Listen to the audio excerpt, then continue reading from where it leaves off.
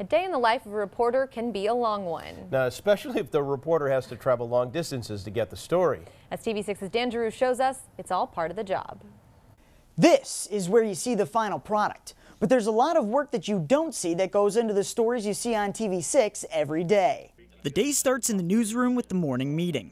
In the meeting, everybody pitches story ideas and discusses the day's events.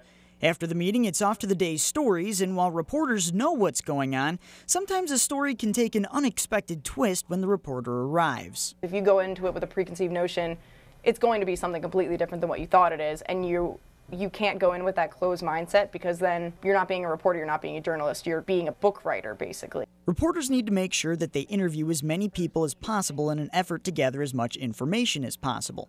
At this point, reporters will have a better idea where a story is going to take them, and this is where they look for video that will match up with what they will be talking about. From here, reporters write and edit their stories to air on the evening's newscasts. You get back to the booth and you're going through all of your video clips and you're trying to figure out what's the money shot, what's the one shot you're going to start with. It takes some time and it kind of backs you up, and that's probably one of the hardest things to deal with. In many instances, reporters are on a tight deadline, and that can add to the stress of the day. You have to be organized and check all my Q's and P's, you have to mind those because if you forget something that can be really critical and it can kind of blow everything else up. Bear in mind that TV6 reporters do it all. They shoot their own stories, write their own scripts, and edit their own video.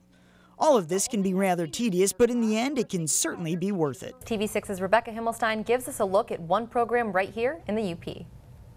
Rhonda Mannanen has over 80 students in her health occupations. I sometimes second guess myself, but I need to be more confident in myself, knowing that, hey, I'm, I'm capable of doing this kind of stuff. And every so often I'll sit back and realize, good job, Becky, you did a good job. Great, great work getting that on the air. For TV6 News, I'm Dan Giroux.